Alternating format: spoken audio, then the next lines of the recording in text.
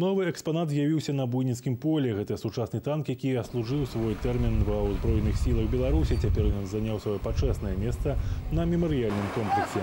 Гэтую тэхніку да адпраўкі ў Магілёў з мінскай вобласці вайскоўцы рыхтавалі амаль 4 месяцы, а ўстаноўка танка на буйніцкім полі заняла лічаныя хвіліны.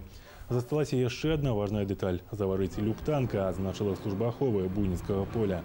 Для даведкі танк Т-80 выраблялі ў СССР з 1976 года. Усяго іх зрабілі каля 10 тысяч адзінак. Доставили с населенного пункта Уречья Любанского района Минской области для того, чтобы выставить экспонатом на Буйническом поле. В этом году уже второй танк. Марка танка Т-80. Он как бы свой срок службы отслужил и подготовлен как экспонат.